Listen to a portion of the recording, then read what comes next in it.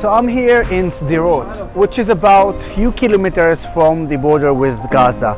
And unfortunately, our sad reality is that even in a kid's playground, we need to have bomb shelters because you have only 15 seconds once you hear the siren before a missile can hurt you. Come inside to see exactly what I'm talking about.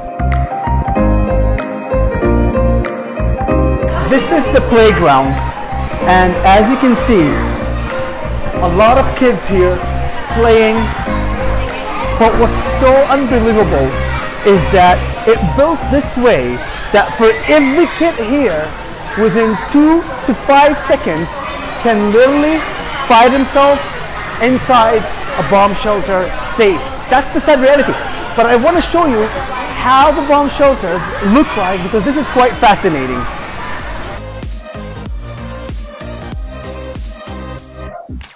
So to hear all the kids run,